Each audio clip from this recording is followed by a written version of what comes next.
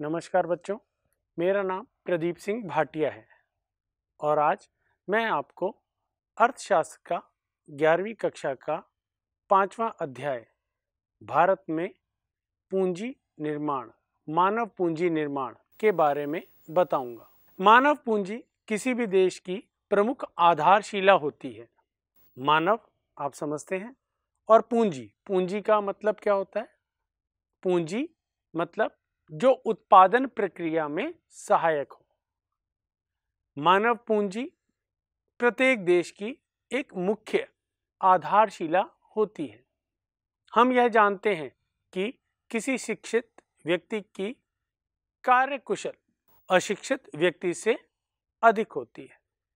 कोई भी शिक्षित व्यक्ति अधिक कार्यकुशल होता है, उसकी उत्पादन क्षमता अधिक होती है, जबकि एक अशिक्षित व्यक्ति की कार्यकुशलता कम होती है। और यही कारण है कि शिक्षित व्यक्ति द्वारा आय का अधिक सृजन किया जाता है।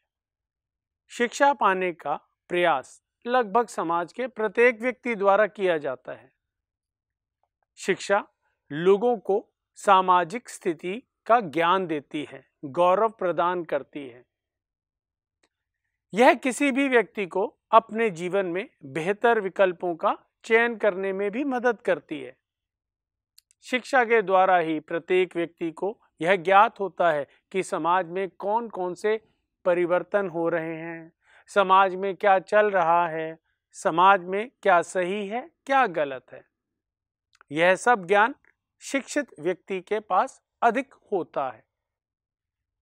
शिक्षित श्रम प्रौद्योगिकी अर्थात तकनीक को अपनाने में भी सहायक होता है।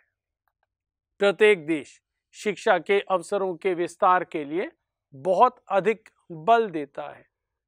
प्रत्येक देश चाहता है कि उसके यहाँ शिक्षित व्यक्तियों की दर सबसे अधिक हो।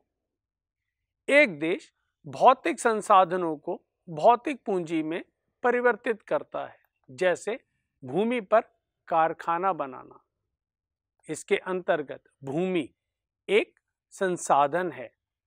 उस पर जो कारखाना बनाया गया, वह भौतिक पूंजी है। इसी प्रकार से एक छात्र को मानव संसाधनों में परिवर्तित किया जाता है। मानव संसाधन। मानव संसाधन के अंतर्गत अध्यापक, डॉक्टर, वकील इत्यादि आते हैं। अब मैं आपको मानव पूंजी और मानव पूंजी निर्माण की अवधारणा बताता हूँ। मानव पूंजी क्या है और मानव पूंजी निर्माण क्या है? मानव पूंजी एक देश में एक निश्चित समय बिंदु पर कुशलता, क्षमता, शिक्षा और ज्ञान के स्टॉक अर्थात भंडार को बताती है। सीधी सादी भाषा में हम बोले तो यदि एक मनुष्य को कई क्षेत्रों का ज्ञान है, वह शिक्षित है, उसकी क्षमता अधिक है तो वह मानव पूंजी कहलाता है। इसके अंतर्गत उन सभी प्रकार के कुशल व्यक्तियों का उपयोग होता है, जो उत्पादन क्रियाओं से जुड़े हुए होते हैं। इसी प्रकार मानव पूंजी निर्माण हमने पहले क्या पढ़ा? मानव पूंजी। मानव पूंजी निर्माण। एक समय अवधि में मानवीय पूंजी के स्टॉक में वृद्धि की प्रक्रिया है। मानव पूंजी के स्टॉक में वृद्धि की प्रक्रिया का मतलब कि मान लीजिए हमारे देश में शिक्षित व्यक्ति सत्तर प्रतिशत हैं। उन सत्तर प्रतिशत व्यक्तियों में और अधिक ज्ञान देना या जो तीस प्रतिशत अशिक्षित व्यक्ति हैं, उन्हें भी शिक्षित बनाना, यही मानव पूंजी निर्माण कहलाता है। अर्थात मानव पूंजी एक स्टॉक है और जब मानव पूंजी में वृद्धि होती है तो उसे मानव पूंजी निर्माण कहते हैं। मानव पूंजी में वृद्धि होती है। सत्तर प्रतिशत हमारे यहाँ शिक्षित हैं। भविष्य में यह आंकड़ा बढ़ेगा। सत्तर से पिछहत्तर, अस्सी, पिचासी, नब्बे प्रतिशत यही मानव पूंजी निर्माण कहलाता है। अच्छी मानव पूंजी जैसे डॉक्टर, इंजीनियर, अध्यापक आदि अन्य मानव पूंजी का उत्पादन या निर्माण करते हैं। डॉक्टर कहीं ना कहीं अन्य व्यक्तियों को ज्ञान देता है।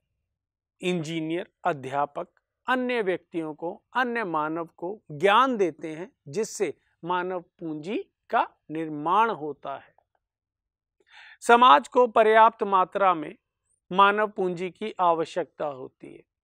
चाहे कोई भी देश हो, विकसित अल्प विकसित विकासशील कोई भी देश हो, प्रत्येक देश को मानव पूंजी की बहुत आवश्यकता है। यह मानव पूंजी ही भौतिक पूंजी का कुशलता पूर्वक प्रयोग करती है। भौतिक पूंजी, हमने अब तक क्या पढ़ा? मानव पूंजी। मैंने आपको बताया कि मानव पूंजी भौतिक पूंजी का कार्य कुशलता से प्रयोग करती है। अब मैं आपको भौतिक पूंजी और मानव पूंजी में अंतर बताता हूँ। भौतिक पूंजी। भौतिक पूंजी वह पूंजी होती है जिसे हम देख सकते हैं, छू सकते हैं, जैसे मशीनें, इमारतें। भौतिक पूंजी प्रमुख रूप से उत्पादन प्रक्रिया में मदद करती हैं।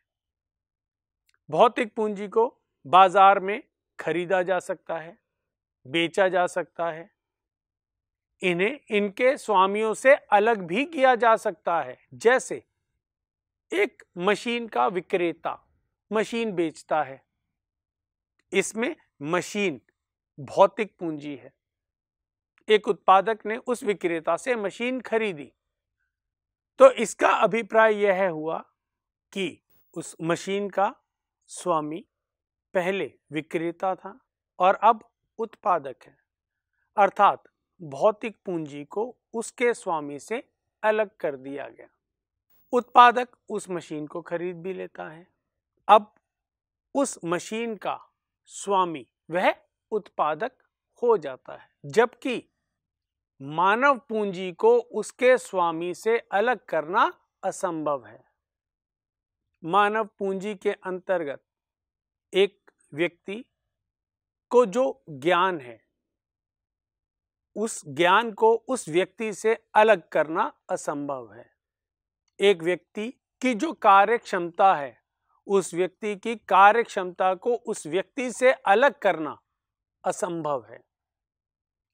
मानव पूंजी एक व्यक्ति का कौशल, उसका ज्ञान होता है। और हम जानते हैं, कौशल हो, ज्ञान हो, उत्पादन क्षमता हो, हम उस व्यक्ति से अलग किसी हालत में नहीं कर सकते। भौतिक वस्तु के उत्पादन की कुशलता को मानव पूंजी के द्वारा ही बढ़ाया जा सकता है। अर्थात एक व्यक्ति जितना ज्ञानी होगा, उसे किसी मशीन के बारे में जितना ज्ञान होगा, जितना अधिक ज्ञान होगा, वह उस मशीन का पूर्ण एवं कुशलतम प्रयोग कर पाएगा।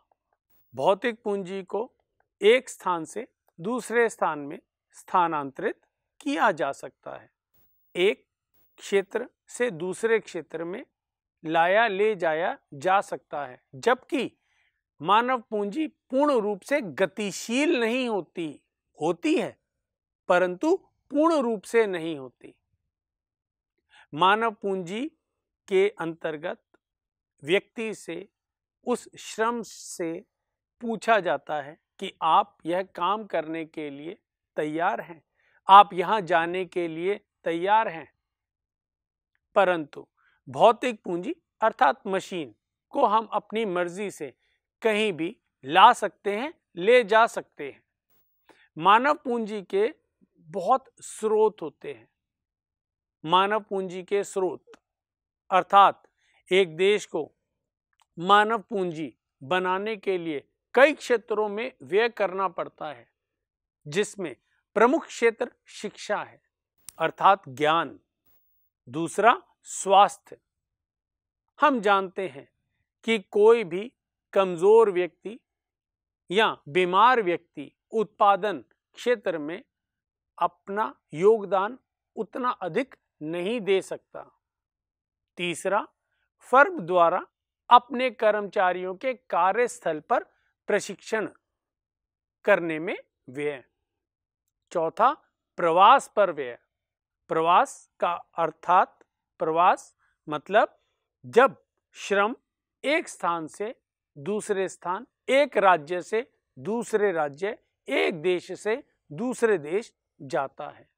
तथा पांचवा स्रोत होता है सूचना। इन क्षेत्रों पर सरकार द्वारा बहुत अधिक व्यय किया जाता है। अब सबसे पहले हम शिक्षा पर व्यय देखते हैं। शिक्षा पर व्यय पूंजी निर्माण का एक महत्वपूर्ण स्रोत होता है। इससे प्रत्येक मानव की तकनीकी कुशलता का सृजन होता है। मानव को कई क्षेत्रों का ज्ञान होता है। मानव शक्ति बनती है।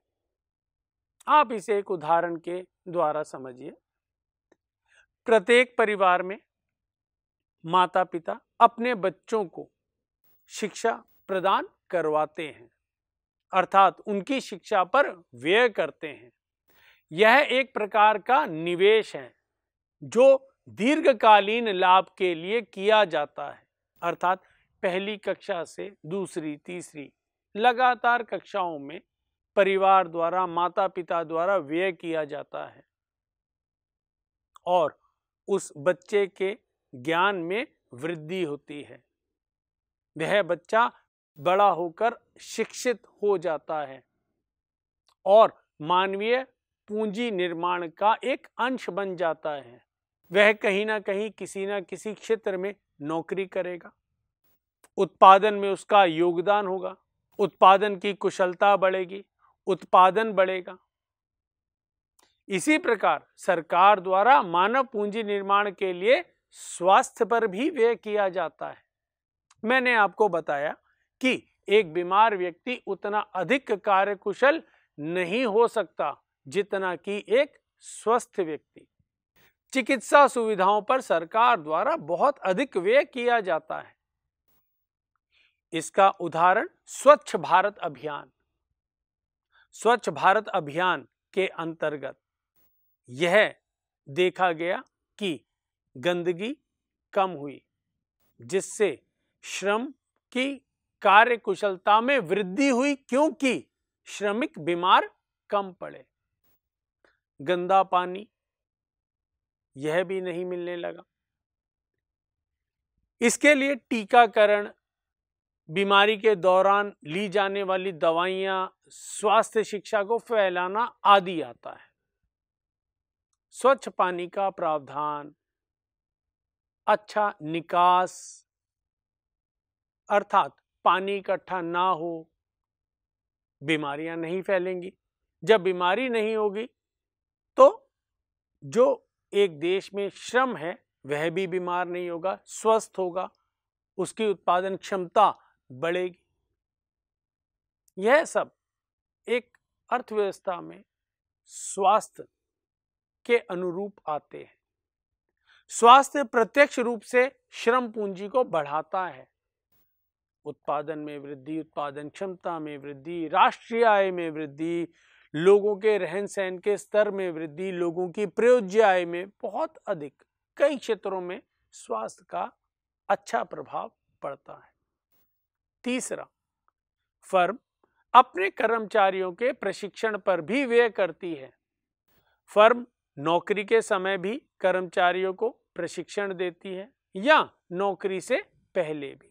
जब फर्म इस प्रशिक्षण पर व्यय करती है तो फर्म को यह उम्मीद रहती है कि एक निश्चित समय तक तो कर्मचारी उनके पास काम करेगा। प्रशिक्षण देने से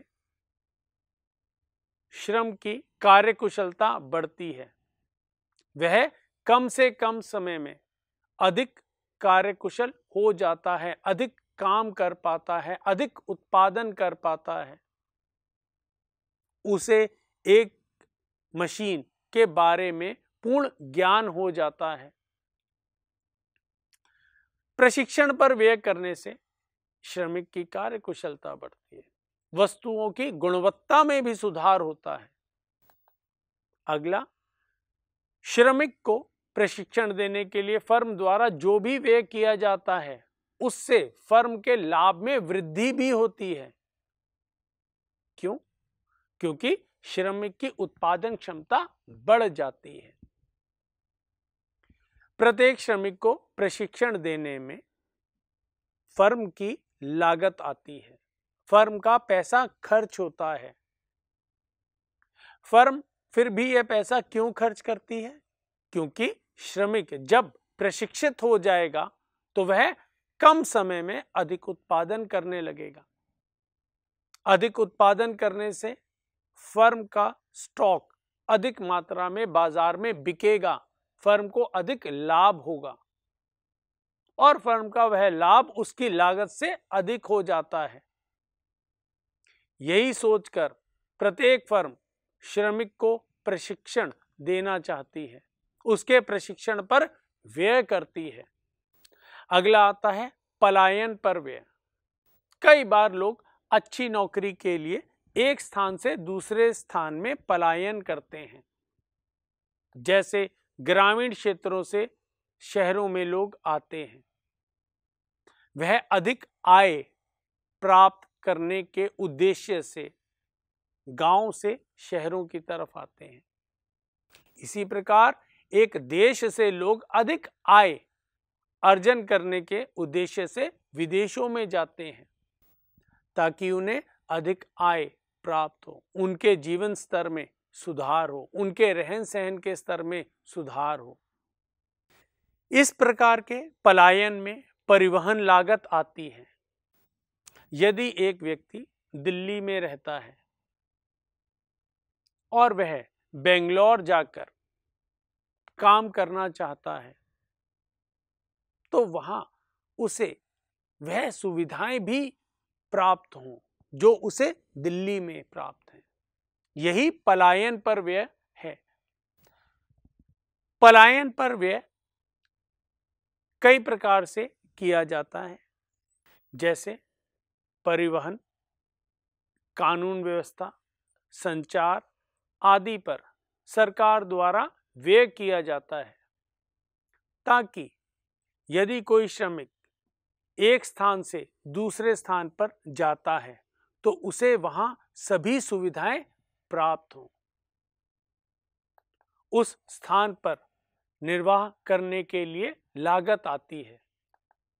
इन सभी लागतों को पलायन पर व्यय कहते हैं, जो कि मानव पूंजी निर्माण का ही एक स्रोत है। आखिरी आता है, सूचना पर किया गया व्यय। यह भी मानव पूंजी का एक स्रोत होता है। लोगों को विभिन्न पूंजी बाजारों में प्रचलित वेतन तथा अन्य सुविधाओं की जानकारी होती है, जिससे वह नौकरी का चयन कर पाते हैं।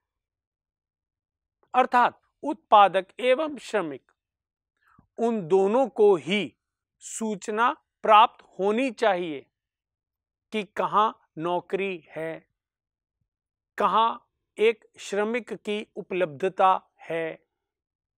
अन्य बाजारों के विषय में भी जानकारी प्राप्त करने के लिए व्यय किया जाता है। इसके अंतर्गत उत्पादक को श्रम बाज़ार से जानकारी प्राप्त होती है कि श्रमिक की उपलब्धता बाज़ार में कितनी है। एवं श्रमिक को भी यह जानकारी प्राप्त होती है कि उसकी योग्यता और उसकी उत्पादकता के अनुरूप उसे कहाँ कार्य मिल सकता है। अब हम अगले भाग में पूंजी निर्माण, मानव पूंजी निर्माण और आर्थिक समृद्धि या आर्थिक विकास का अध्ययन करेंगे। मानव पूंजी निर्माण और आर्थिक विकास, ये दोनों एक ही सिक्के के दो पहलू हैं। मानव पूंजी निर्माण के कारण ही अर्थव्यवस्था में आर्थिक विकास होता है और आर्थिक विकास के कारण ही मानव पूंजी का निर्माण होता है। जैसे, मानव पूंजी में वृद्धि होने पर जीवन की गुणवत्ता अच्छी होती है, लोगों के रहन सहन के स्तर में सुधार होता है। उत्पादक एवं श्रमिक की कुशलता में वृद्धि होती है। जिससे आर्थिक विकास होता है। इसी प्रकार आर्थिक विकास में वृद्धि होने पर लोगों को रोज़गार के अधिक अवसर प्राप्त होते हैं। उनकी प्रति व्यक्ति आय बढ़ती है, जिससे कि वह शिक्षा और स्वास्थ्य पर अधिक निवेश करते हैं, व्यय करते हैं। और शिक्षा एवं स्वास्थ्य में अधिक निवेश होने के कारण मानव पूंजी में वृद्धि होती है। हमने यह देखा कि मानव पूंजी के कारण आर्थिक विकास होता है और आर्थिक विकास के कारण मानव पूंजी का निर्माण होता है। आर्थिक विकास का अर्थ है देश की वास्तविक राष्ट्रीय आय में वृद्धि।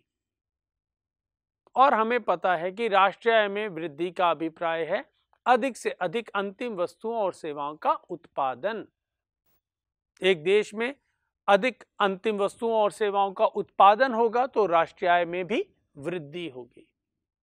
हम यह भी जानते हैं कि एक शिक्षित व्यक्ति का श्रम कौशल एक अशिक्षित की अपेक्षा अधिक होता है। एक स्वस्थ व्यक्ति अधिक समय तक श्रम की पूर्ति कर सकता है, क्योंकि वह अधिक समय तक कार्य कर पाएगा। स्वास्थ्य भी आर्थिक विकास का ही एक महत्वपूर्ण कारक है। मानव पूंजी की वृद्धि के कारण ही आर्थिक विकास होता है। भारत में आर्थिक विकास में मानव पूंजी को महत्व दिया जाता है। आर्थिक विकास में मानव पूंजी का क्या महत्व है, यह भारत ने बहुत समय पहले ही समझ लिया था। क्यों? क्योंकि भारत में जनसंख्या अधिक है। और जनसंख्या अधिक होने के कारण अधिक मानव पूंजी की संभावना होती है। हाँ यह ज़रूर है कि शैक्षिक दर अभी भी कम है। परंतु समय अनुसार इस शैक्षिक दर में लगातार वृद्धि होगी और मानव पूंजी का निर्माण होगा। मानव पूंजी के बाद अब बस मानव पूंजी का निर्माण ज़रूरी है, जिससे उत्पादन, उत्पादकता, राष्ट्रीय आय बढ़े। 1950 में वास्तविक प्रति व्यक्ति आय पिचहत्तर सौ, सात हज़ार पाँच सौ रुपए के करीब थी, जबकि 2017 में यह प्रति व्यक्ति आय सतहत्तर हज़ार रुपए हो गई। अर्थात प्रति व्यक्ति आय में लगातार वृद्धि हुई है। इसी प्रकार शिशु मृत्यु दर 1950 में बहुत अधिक थी, जो कि वर्तमान समय में बहुत ही कम है, क्योंकि स्वास्थ्य पर अधिक व्यय हुआ। अधिक व्यय होने के कारण शिशु मृत्यु दर में बहुत ज़्यादा कमी आई। शिक्षा पर भी व्यय होने के कारण साक्षरता दर प्रति वर्ष बढ़ती ही जा रही है। कुछ वर्षों बाद आप देखिएगा, भारत, अमेरिका और चीन के बाद दुनिया की तीसरी सबसे बड़ी अर्थव्यवस्था के रूप में उभर कर आएगा। और जल्द ही भारत पाँच ट्रिलियन अर्थव्यवस्था बनेगी। ऐसा तभी संभव है जब भारत में मज़बूत शिक्षा प्रणाली हो नई नई तकनीकों का विकास हो, मानव पूंजी का निर्माण हो। अब हम अगले भाग में भारत में मानव पूंजी निर्माण की स्थिति का अध्ययन करेंगे, मानव पूंजी की समस्याओं का अध्ययन करेंगे। भारत में शिक्षा का क्षेत्र, उसकी उपलब्धियाँ उसकी कमियाँ इन सब का अध्ययन करेंगे। आशा करता हूँ आज की कक्षा में आपको मानव पूंजी के बारे में पूर्ण ज्ञान मिला होगा। नमस्कार।